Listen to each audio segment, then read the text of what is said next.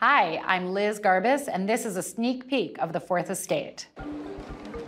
Jeremy Peters covers conservative movement for the New York Times. Our president, Donald Trump. When we shot with Jeremy at CPAC, it was really quite striking.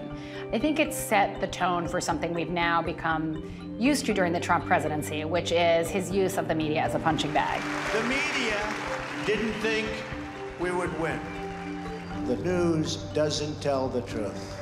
They have no sources. They just make them up. And I want you all to know that we are fighting the fake news.